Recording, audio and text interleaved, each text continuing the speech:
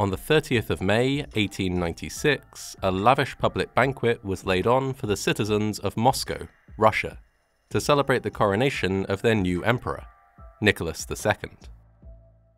Tsar Nicholas was keen for the celebration to be a moment of hope and stability for his people, an occasion they would look back on fondly, and that would help to unite and uplift the nation at the start of his reign.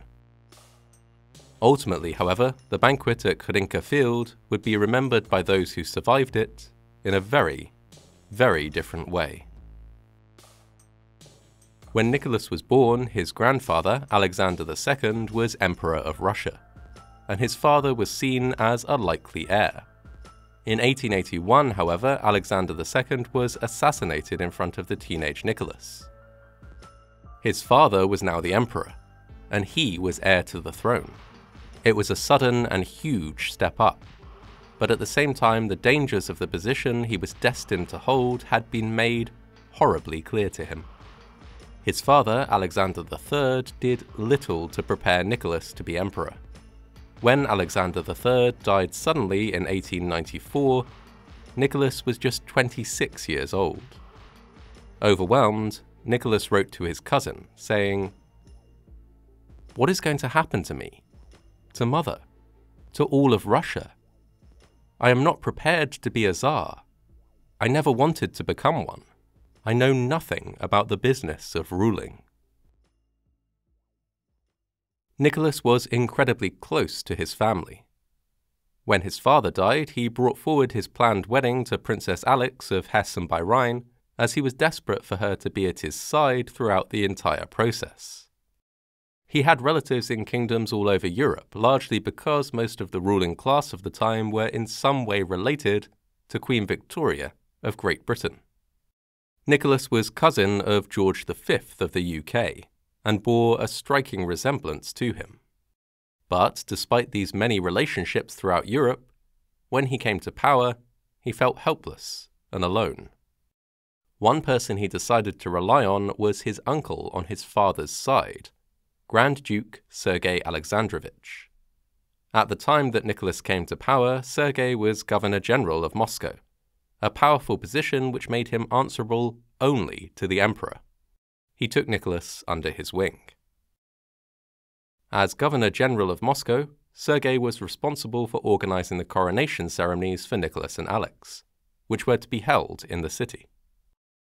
The coronation itself took place on the 26th of May, 1896, and was followed by days and weeks of grand public celebrations, one of which was to be a huge banquet for the people of the city. The venue for the banquet was to be Khodynka Field, a huge open space in the city that had been used for large scale festivals since the time of Catherine the Great. The field had a ravine, was surrounded by many ditches and was sometimes used as a military training ground. But it was spacious enough for a celebration befitting the occasion, so Sergei approved the plans. The plans were very ambitious. A temporary town square was installed, and around it were set up miniature theatres, 150 buffets, and 20 different drinking establishments. Gifts were to be handed out to everyone who attended, including a bread roll, a sausage, some pretzels, some gingerbread, and a commemorative cup. There was a lot of excitement in the lead up to the event. On the evening of the 29th of May, the day before the banquet, people had already begun to gather in Khodynka Field. The setup for such a big event was an attraction in and of itself. Families gathered to watch cart after cart laden with beer, food, and gifts, heading into the grounds. People came from all over the Russian Empire to Khodynka Field.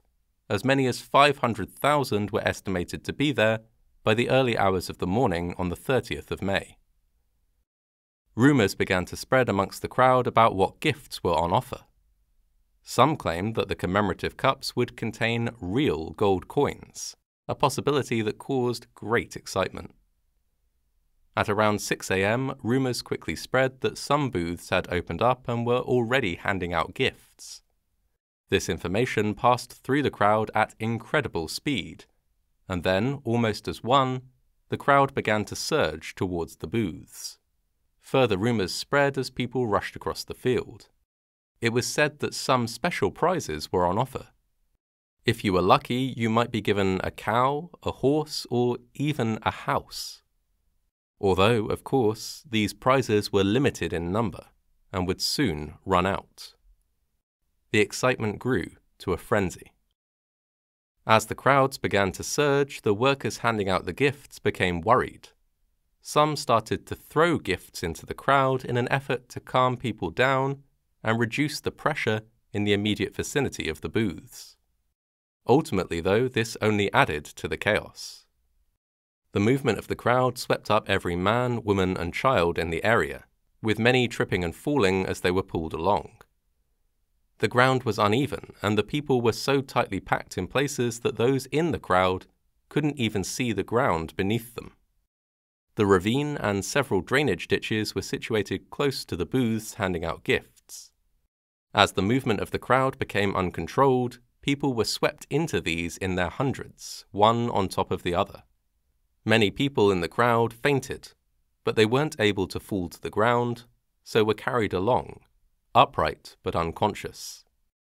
Famed Russian writer Leo Tolstoy was deeply affected by the events that day, and would later write a short story featuring them. Though it is, of course, fiction, it gives some insight into what it may have been like to experience the catastrophic crush. He fell. A woman in a headscarf fell upon him. He shook her off his back, wanting to return, but others pressed from behind, and he didn't have the strength. He leant forward, but his feet set on something soft. On people. They grabbed him by the legs and screamed. He saw nothing, heard nothing, and moved forward, treading on people. There was a police force of around 1,800 present in Khodynka Field that day, but they had no chance of controlling a crowd of half a million. Thousands of people were thrown into ditches and the ravine, piled up on top of each other, with no hope of survival for those at the bottom. There was also a well on the field into which 27 people fell. Only one of them would survive. Gradually, the crowd calmed and began to disperse. The police were ordered to clear the area and remove the bodies of the dead, so that the festivities could continue as planned. With this as a priority, little attempt was made to aid the injured and dying.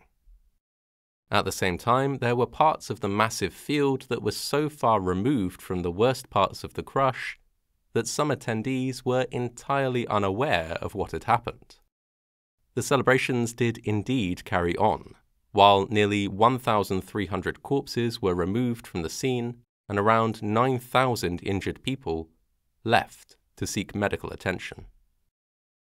A valet for the court of Nicholas II, Alexei Volkov, later recalled his experience of walking around the area as people left the celebration in an account which highlights both the scale of the event and the confusion. I met many groups of people coming back from that site carrying the Tsar's gifts. The strange thing, though, was that not one person mentioned the catastrophe, and I did not hear about it until the next morning. Tsar Nicholas II was informed of the tragedy. He and his wife went that same day to the site in order to pay their respects to the dead. But by the time they arrived at around 2 p.m., there was no sign at all that a tragedy of any kind had taken place. That evening, the French ambassador had arranged a ball for Nicholas as part of the coronation celebrations. It is thought that Nicholas may have been uncertain about attending such a lavish ball in the wake of the disaster but as France was such an important ally to Russia, his advisers persuaded him to attend. Conflicting reports also emerged, highlighted by those who opposed the monarchy. Reports that Nicholas was warned not to attend by some advisers, but did so anyway. China's imperial commissioner was present at the ball, and remarked that a Chinese emperor would never have gone to a ball after such a tragedy. Whether he was reluctant to attend the ball or not, the fact that he did left a sour taste in the mouths of the people of Moscow. It was seen as a disrespectful act, the Tsar feasting and dancing while the people mourned their dead. The Tsar did pay compensation to the families of the victims out of his own pockets. He also played an active role in the resulting investigation.